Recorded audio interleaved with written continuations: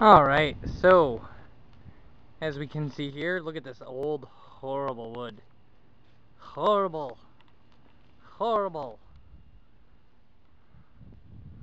So this is a screen house, and we can see the difference here. Boom. A little better. Halfway, halfway through being done over here.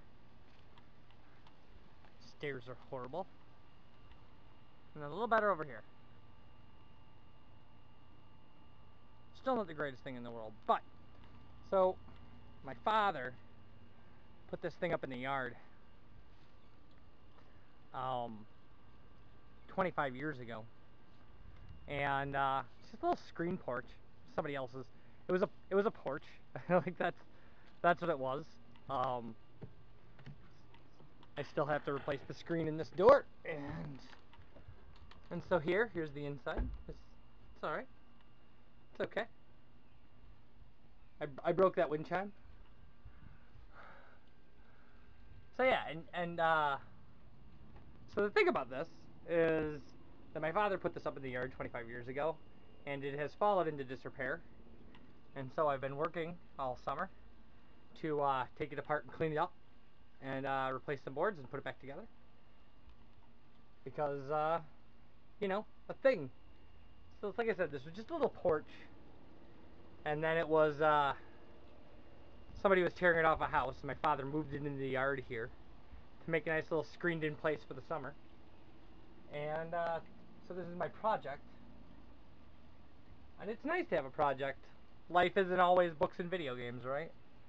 And the reason I'm showing you this is because uh, we're going to come in here to do a book review in a bit and uh, while I'm waiting for paint to dry on trim that I have pulled off of here, I also may uh, give one wall a coat of paint before I set up the camera in here.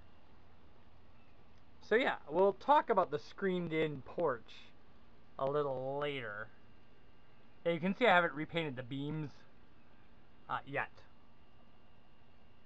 Because, you know, I mean, interior, exterior, I don't know. I don't know why. I don't know why I haven't done that. But anyway, so I'm going to set up a chair and against one of the nicer parts, so I have a nice backdrop, and uh, the tripod, and we'll talk about some books in here today while I'm doing work. I'll see you guys. Hello everybody, it's a vertical sandwich. So if you notice white paint all over me or something, that's because I've been working outside. The prelude to this video should be, be talking about the screen house we're in, and how I'm painting it and renovating it and things like that restoring it, I guess. So, um, this is it. This is me in it. This chair is comfortable. I, I bought it at Walmart for 20 bucks or something. So, uh, this is my work outdoors painting hat. Um, it's got paint on it, if you can see that. I don't so, yeah, I had to change shirts because I had an old grubby paint shirt that actually said where I work because I got it for free from work, so it's like my paint shirt. Uh, what we have is uh, this book right here. Boom. The Moon is a Harsh Mis Mistress by Robert Heinlein. Now we're going to talk about Heinlein a lot because as far as Hugo Award winners go, he, he won four times.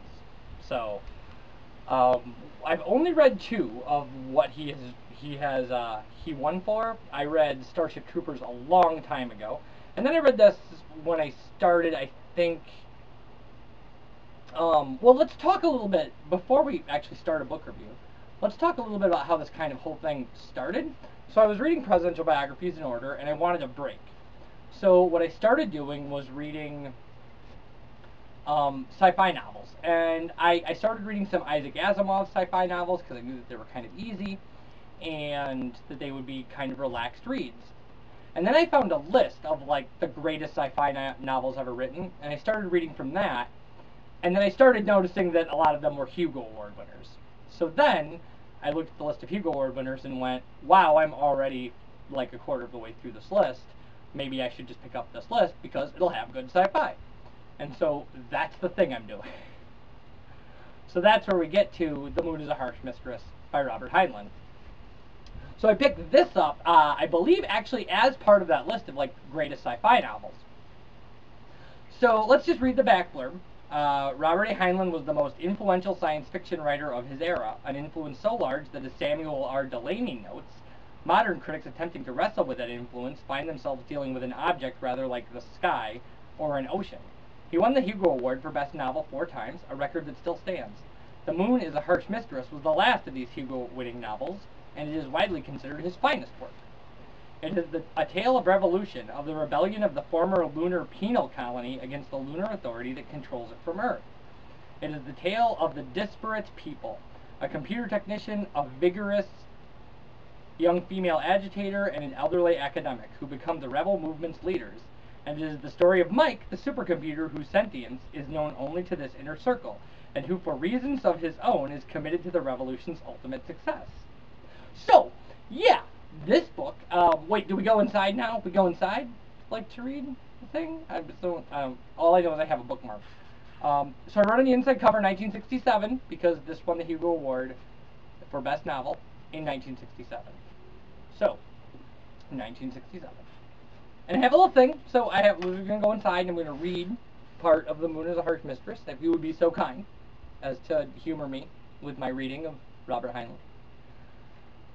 Um, okay, so uh,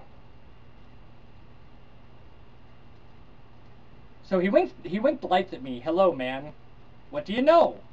He hesitated. I know. Machines don't hesitate. But remember, Mike was programmed to operate on incomplete data. Lately, he had reprogrammed himself to put emphasis on words. His hesitations were dramatic. Maybe he spent pauses stirring random numbers to see how they matched his memories. In the beginning, Mike intoned, God created the heaven and the earth, and the earth was without form and void, and darkness was upon the face of the deep, and hold it! I said, cancel, run everything back to zero. Should have known better than to ask wide open question. He might read out entire Encyclopedia Britannica, backwards, then go on with every book in Luna. Used to be he could read only microfilm, but late 74 he got a new scanning camera with suction cup Waldos to handle paper, and then he read everything. You asked what I knew, his binary readout lights rippled back and forth, a chuckle. Mike could laugh with Voder, a horrible sound, but reserved that for something really funny, say a cosmic calamity.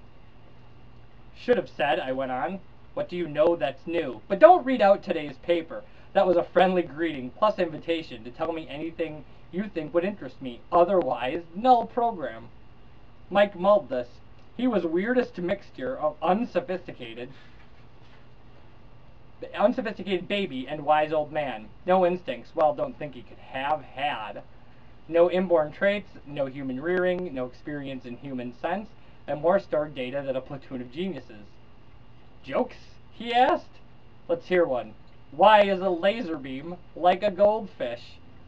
Mike knew about lasers, but where would he have seen a goldfish? Oh, he had undoubtedly seen flicks of them, and were I foolish enough to ask, could spew forth th thousands of words. I give up. His lights rippled. Because neither one can whistle. Okay, so, like, yes, this is about a computer technician who realizes that an artificial intelligence he works on is actually alive and has developed a relationship with it. And then they both get involved in a revolution. Now, um, when we talked about Zelazny's Lord of Light, which should have been the last book review that I did, we talked about how Zelazny likes to mix religion into his stories or mythologies. Uh, if, if, if that's your if that's your thing, great. Uh, if your thing is politics, this is, you want to go to Heinlein. Heinlein's huge for exploring political situations with his science fiction. And one of the things about this book that I really like. And, and, and when we talk about Starship Troopers, first off, I'm going to have to reread it. It's been years since I've read Starship Troopers.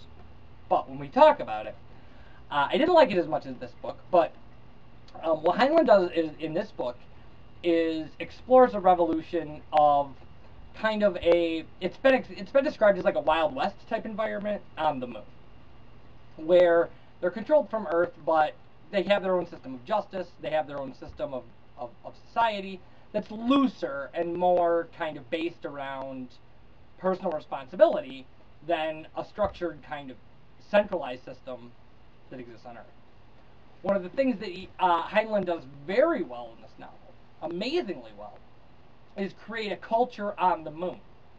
And this is a thing that we'll, we'll talk about in other sci-fi novels. Like, we'll definitely talk about uh, lunar culture or cultures on other planets being distinct from Earth in other sci-fi novels because it's a common theme if it, it, it's a natural progression when a character goes, or when a society develops separate from another society, that they will diverge.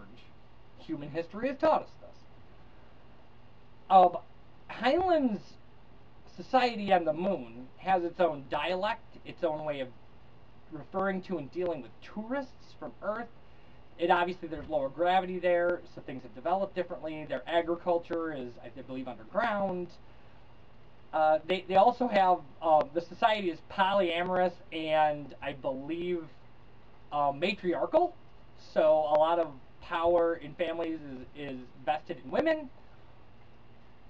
So uh, and there's also something called uh, Heinlein also explores something called the line marriage, where marriages are continuous as people die out of them. These polyamorous relationships that span generations that can go on indefinitely. Also, uh, he, as you can tell, like words are left out of sentences. He he does a big, um, he interjects a lot of uh, of dialogue that gives kind of a like a, a Soviet Russian kind of feel to the people here because you've got to remember in 1967 there was no just Russia, there was the USSR, which is a thing I remember and you may not. It depends on how old you are. So, uh, in in that way, you when I first started thinking about reviewing this book, I started thinking about kind of the October Revolution and Socialist Revolution. But that's not really, I, I actually think that the parallels in this book um, are, are a lot more like the American Revolution, mainly because of, you know, the parent society being distant from the self-contained society, whereas like the French Revolution and the October Revolution were internal takeovers of a country, whereas the American Revolution can be thought of as a, a separation from a parent. Right. Um, Heinlein, Heinlein definitely plays with the kind of the politics of, of, of independence in society and the individual's relationships to their, their government or to, you know, it, regardless of what the government might be. The government is the parent government a revolution is trying to create, or if the government is um, wait, the government a revolution is trying to create, or the parent government that a revolution is trying to get away from. It, also, the book is very creative. It, it the the way the moon attempts to wage war on Earth is fantastic, and kind of the way people deal with being these rebels against a society that is far older and you know way more populated and kind of more organized and in control relying on their separateness from the parent society um, to help them out. It's fascinating. Heinlein really does great work with this book. It's it, it's not a hard read. It's it's very it's very layered and and worked well, but not plotting. So you're not going to spend you know a ton of time trying to figure out what's going on or spend an entire afternoon to get through 60 pages the book is let's let's check it out. Let's let's look at the book. The book is uh, the book is 350, a little more pages long. So not bad for a science fiction novel. When we start dealing with things like the three body problem or Sitchin or things like that far longer, they are uh, you know this this is this is a this is a nice casual read. If you're interested in kind of uh, explorations of politics, Heinlein's a good guy for that. Uh, Starship Troopers is I know has been critiqued uh, in the past for being kind of hyper nationalist. Uh, this is not so much. This is kind of the opposite turn. It's it, it's you know there there's a lot of discussion. There's some discussion of anarchy in here. So yeah, I, I, I really I like the Moon is a Harsh Mistress. I mean it's we're we're starting this off with kind of cute, clear masterpieces, and so you're just gonna get a lot of glowing reviews from me like you should read this book. This is a book you should read. Well, that's all fine.